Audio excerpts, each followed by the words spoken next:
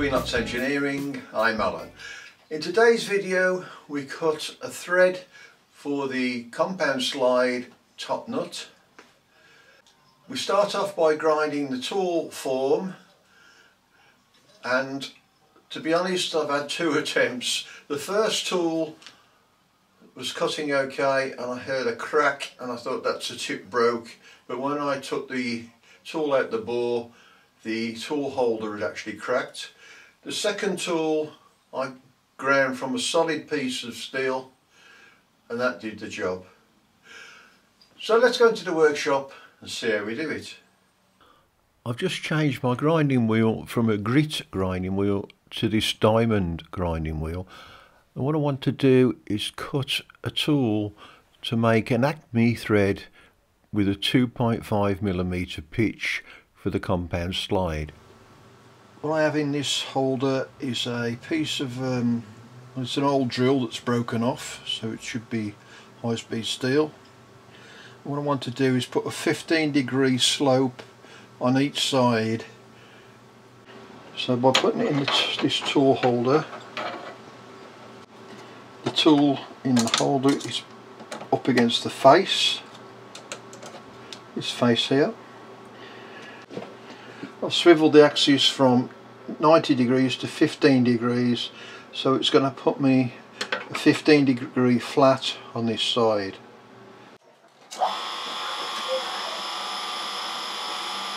Starting.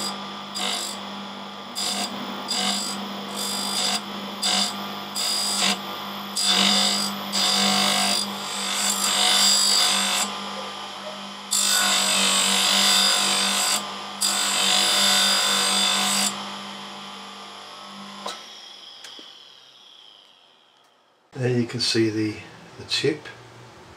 On the tool tip I've ground a 15 degree angle on the side that also has an 8 degree angle on the edge. Take this out the tool holder, turn it around the other side. I can't turn it upside down to do the other way because it's a compound angle. Put it back in the tool holder the other way.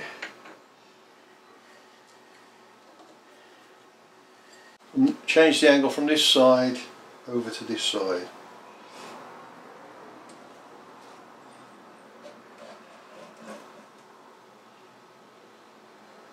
So this time I'm cutting on the back of the wheel so I'll reverse the wheel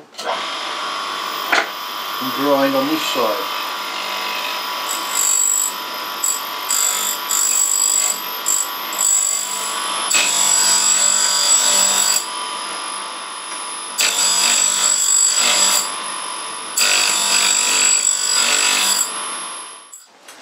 So now I've ground that side and the other side 15 degree with an 8 degree.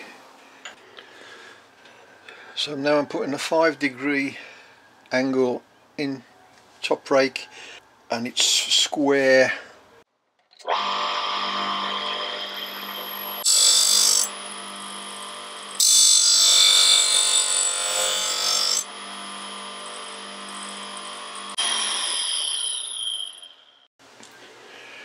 there you can see the, the top. So all I have to do now is to put a flat on the top that's the width of the thread that I'm cutting. Now I've put the tool square to the wheel but there is this 8 degree angle so it's going to cut an, an angle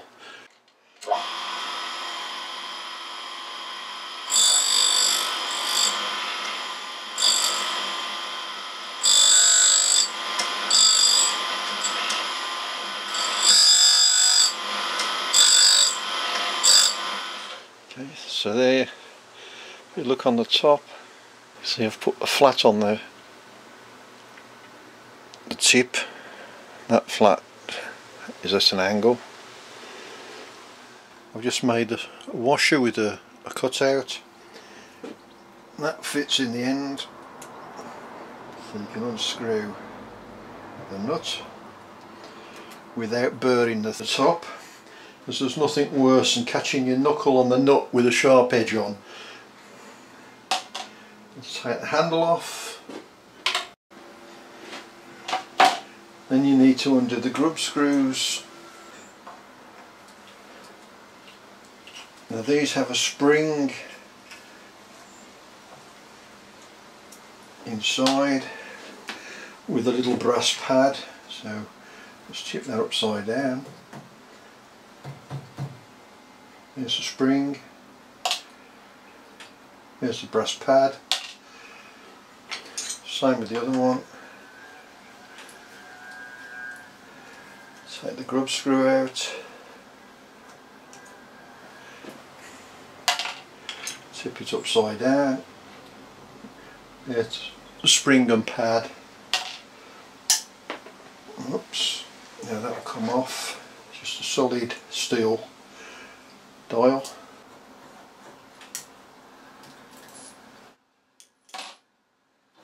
this comes off. It's hollow. You've got an oil filler on the top and these are the thrust bearings. Unscrewing the thread. Take these bearings off before I lose them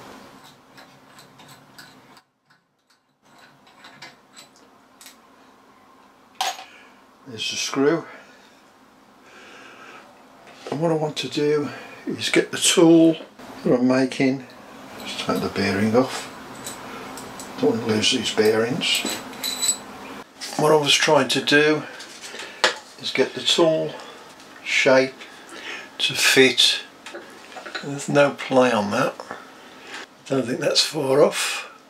When it's held square in the lathe obviously should fit. All I have to watch is the width but it's 15 degree each side and a flat bottom which looks very similar.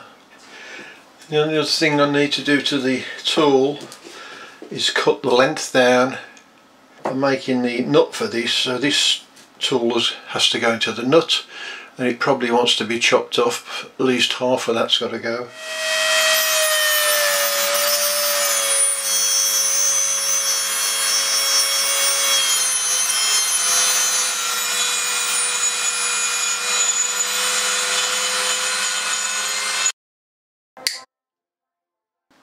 So there's the tool.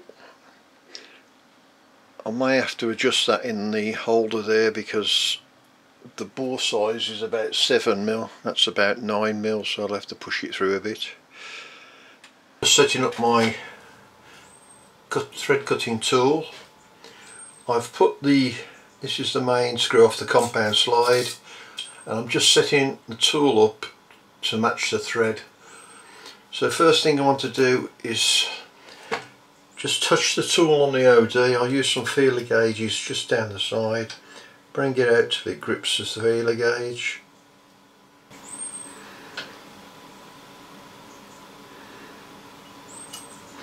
Set my dial to zero, now I'll line it with one of the grooves, move it in till it touches the bottom about there. That's gone in 65 thou. Less the 3 thou on the feeler gauge at 62 thou. So that'll be my depth of cut 62 thou. And now I know that my tool is a bit narrower than the, the thread so what I'll do is move it backwards till it touches the edge of the tool I'm zeroing my direct readout and then move it forward and that's giving me 6 thou.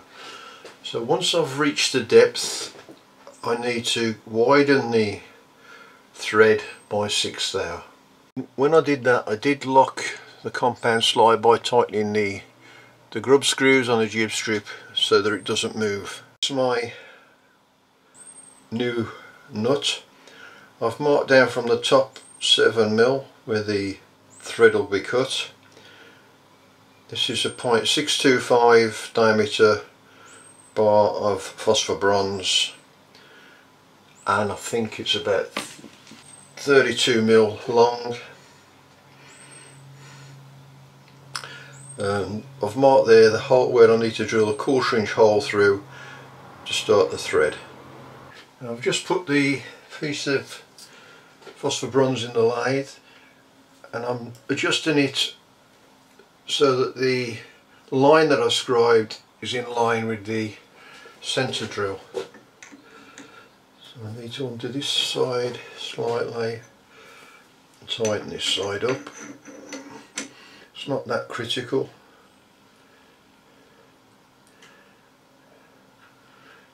I don't know whether you can see the line. That looks about in line with the centre drill so I know I've got the right distance up and down to the scribe mark. Now I need to know that I'm in centre. It doesn't look like it, left and right. And it looks as if it's out of line. So the only way I can do that is to put a dial indicator on the chuck jaws and check these two chuck jaws. From this view, this is the component I'm trying to central backwards and forwards. This is the back of my four jaw chuck jaw. I'm just going to rock the, bring the dial indicator in and just rock the chuck until I get the lowest reading, which is there bring that to zero just pull the dial indicator out by hand at the back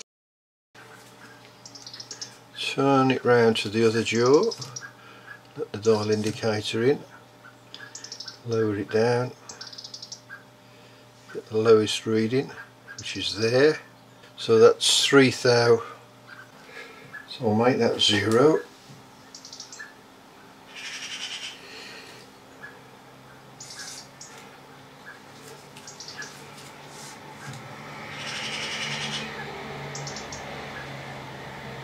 the lowest reading.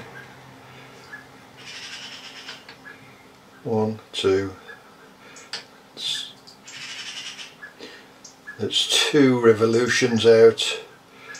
So that needs to go in a bit.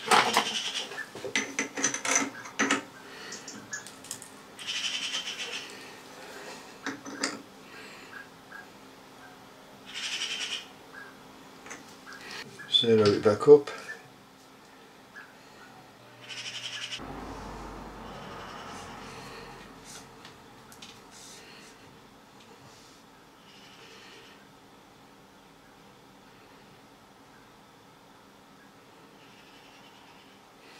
Tooth there down.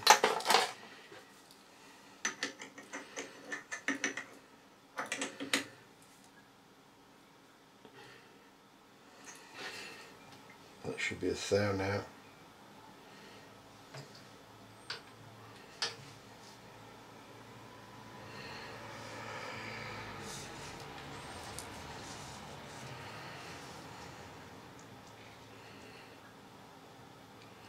So within a half a thou, let's make sure it is one turn, yeah. So that's within half a thou, that'll do.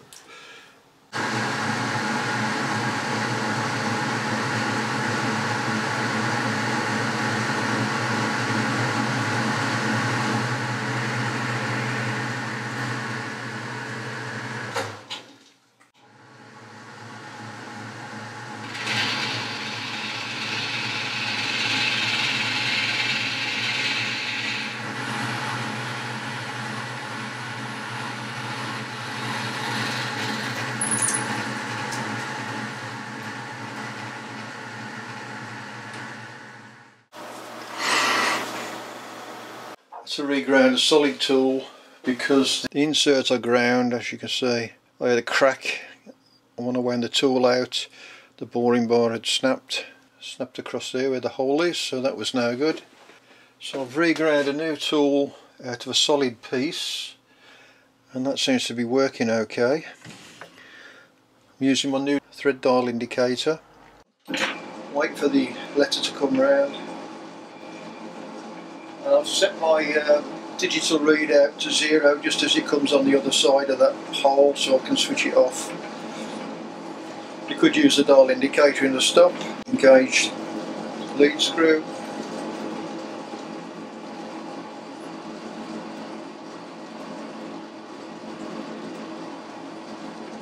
Disengage. it back, bring it out, cut on,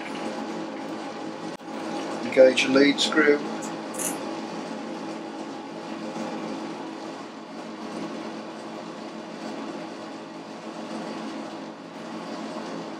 disengage, hold it back, move it out, put another cut on.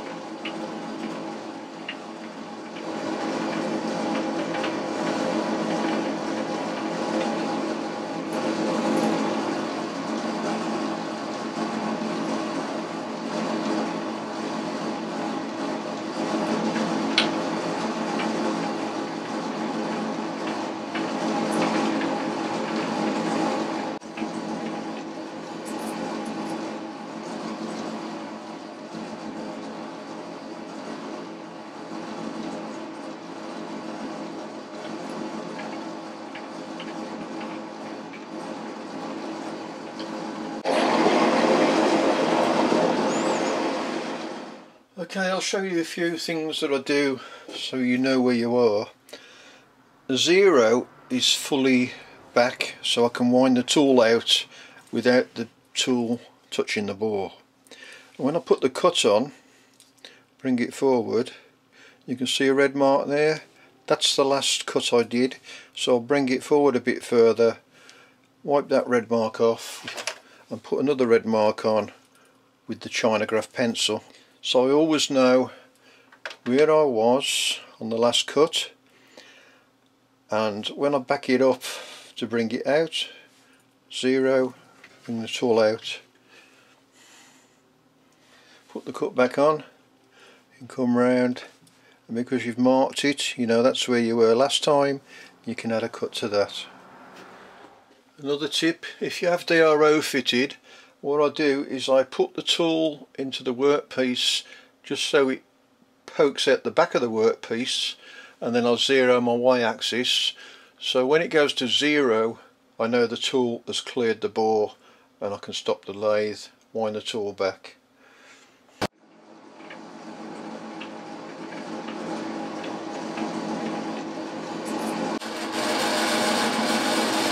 what I'm looking at is the negative sign. As soon as that disappears, I'll stop the machine.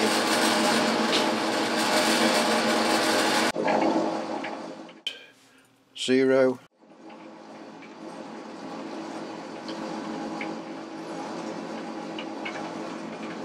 And because you've marked it, you know that's where you were last time, you can add a cut to that.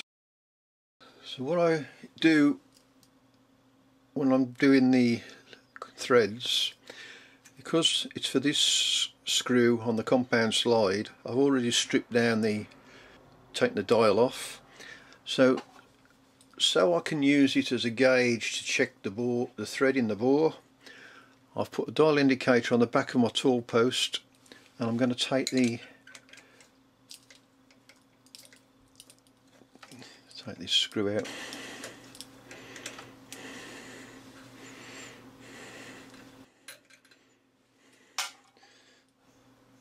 move the other one.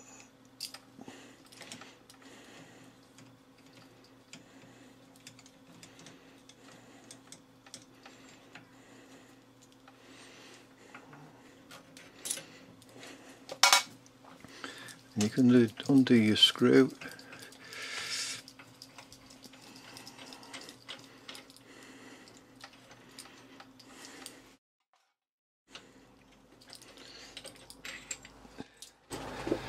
and try the fit on the ball.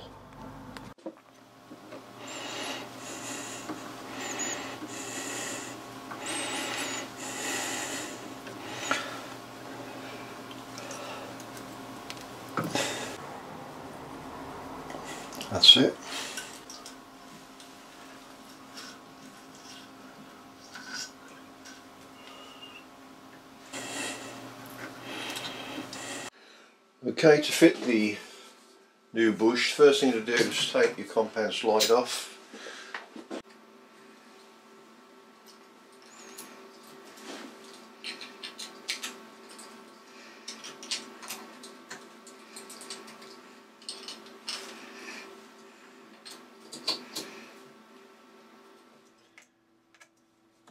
Slacken off the grub screws on the slide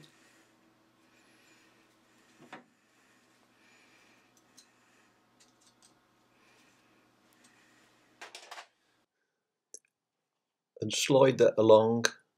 This is where the nut fits in there. It, that goes in with the thread down.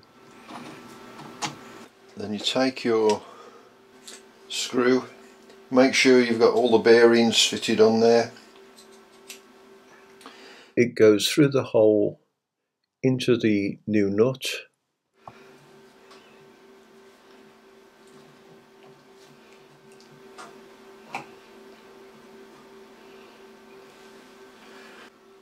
Then tighten the grub screw to hold the nut body. And put the two cap heads back in on the end.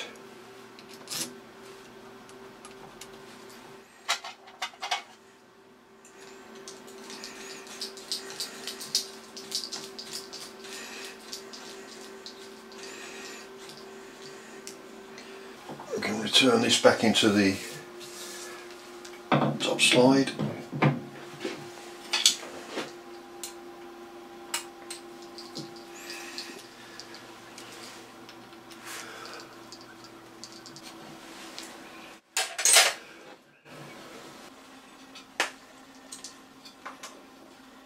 Tighten up all the grub screws to hold the gib strip and that will remove some of the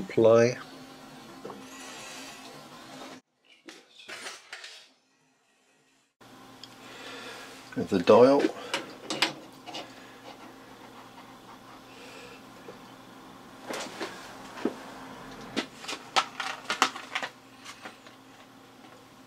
Brass disc. Spring.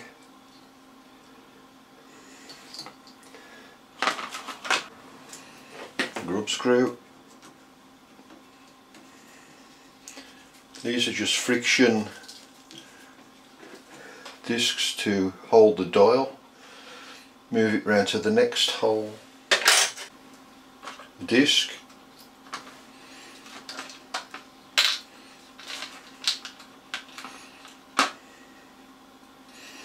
Spring. Grub screw.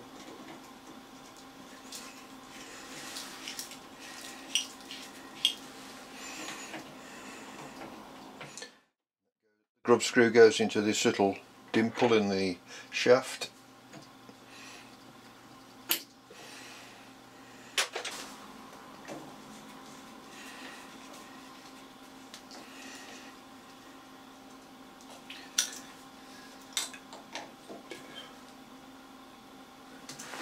The nut on the end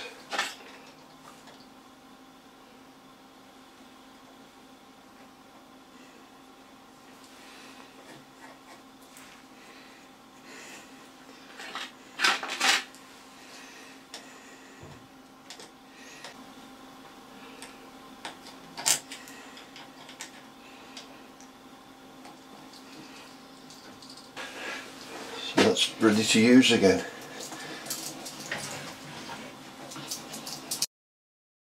Oh well, I got there in the end after a second thread cutting tool. I hope you enjoyed that, hope it was useful, and if you liked it, why not subscribe? And we'll see you next time on Enots Engineering.